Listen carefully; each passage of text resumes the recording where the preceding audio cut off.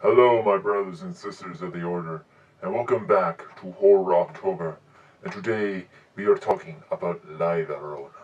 The tale of La Llorona mainly begins as it follows: a beautiful young woman in Mexico, and a witch who falls in love with a wealthy man. It is said the man who sways her into falling in love with him, and in such they join out of wedlock.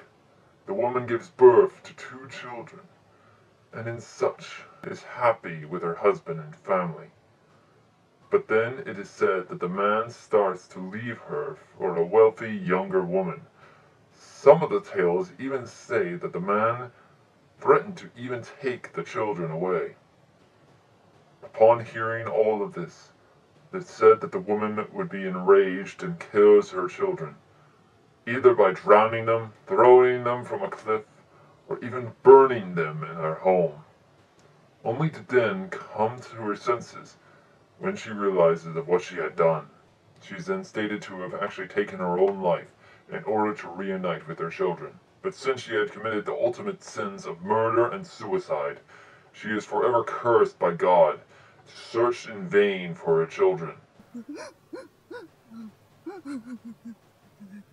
She is known to be heard to be crying out for her children, wearing a white dress and veil, crying and weeping, begging and asking where are her boys. It is said that she can be heard throughout the region of Mexico and South America.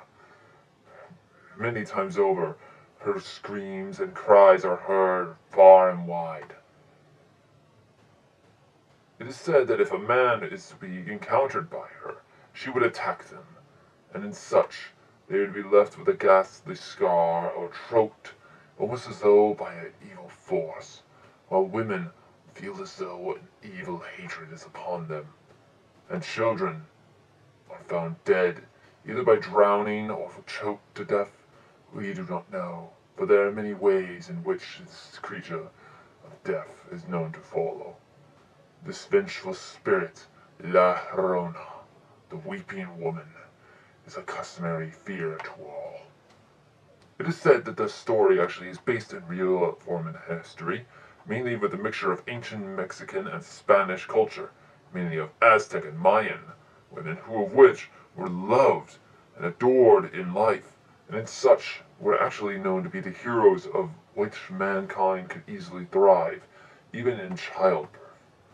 However, when a woman was said to have died, they are extremely feared as a spirit, known to be seen in a white gown weeping, mainly because of their untimely death.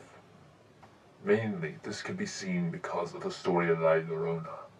However, one of the major stories that ever takes place is that of which has been based in history, with none other than La Malinche, who is actually said to have become a slave and even mistress of none other than Hernan Cortez.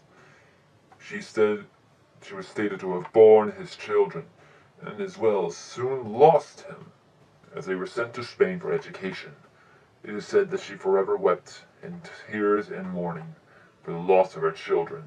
In fact, this story is actually based to explain the female's perspective, in which is a tale of warning to many children to not actually stay out after dark, and as well to many women to choose on who their husband should be, and to not make the mistake as the Llorona did. Beware her curse, beware her cry, never venture out after dark. Be mindful of those who encounter La Llorona. フフフフフ。